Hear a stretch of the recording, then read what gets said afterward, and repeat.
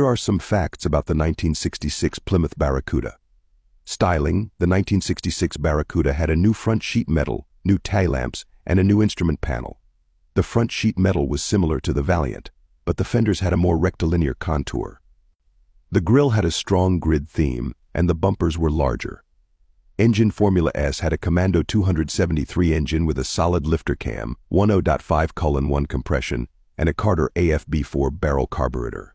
Transmission had an A833 four-speed transmission with an OEM inland steel toilet flusher shifter with reverse lockout T-bar.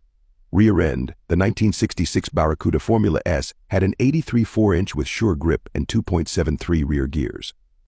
The Formula S package was brought back in 1966, and 5,316 cars were equipped with it.